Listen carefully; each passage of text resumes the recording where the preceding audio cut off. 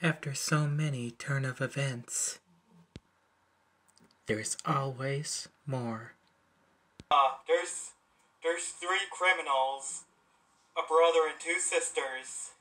Um, they're called the Cochran family, and uh, and they're here now, and um, and ever ever since ever since uh, this morning when I got up, um, I've heard they they were here before we even got uh, got back here, and and it, and it turned out Dave uh, they killed a fifty. Biohazard 3 The Cochran Family. In theaters November 4th, 2020.